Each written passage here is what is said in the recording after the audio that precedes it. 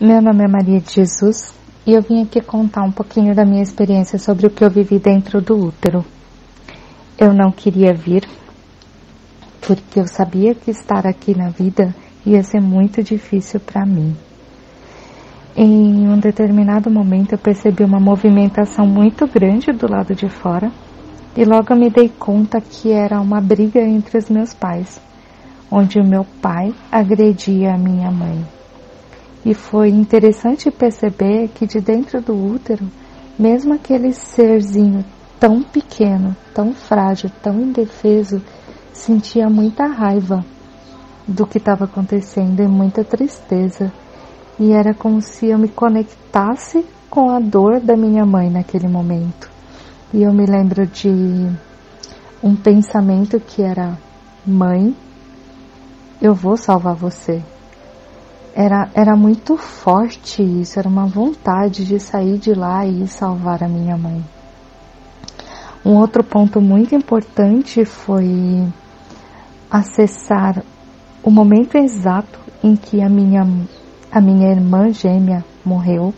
Eu sou uma gêmea sobrevivente e eu acessei o exato momento em que ela se foi e o motivo pelo qual isso aconteceu.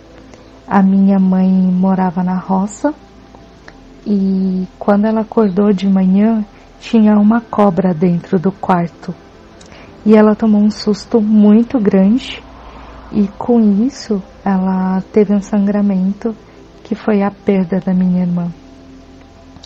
E foi interessante perceber que desde criança, há muito tempo mesmo, eu tenho pesadelos com cobras. Eu tenho pavor desse animal. Eu não podia ver imagens que fossem em qualquer lugar que eu entrava em pânico e eu não entendia por que isso acontecia. E desde que eu acessei esse evento, a minha relação com esse medo mudou.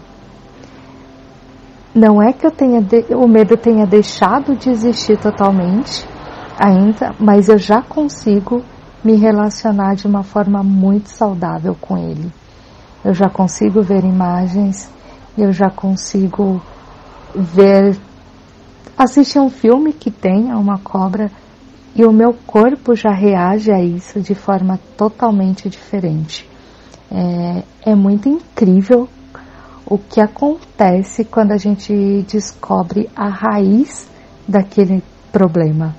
É sensacional. E viver essa experiência dentro do útero foi fundamental para compreender muitos comportamentos presentes na minha vida hoje.